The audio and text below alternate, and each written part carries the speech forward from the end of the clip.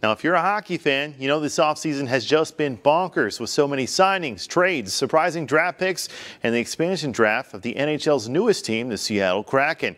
But today we can give you some love to a former UP standout. I'm talking about Jujhar, Jujhar Khaira, formerly of the Edmonton Oilers, heading to the windy city of Chicago.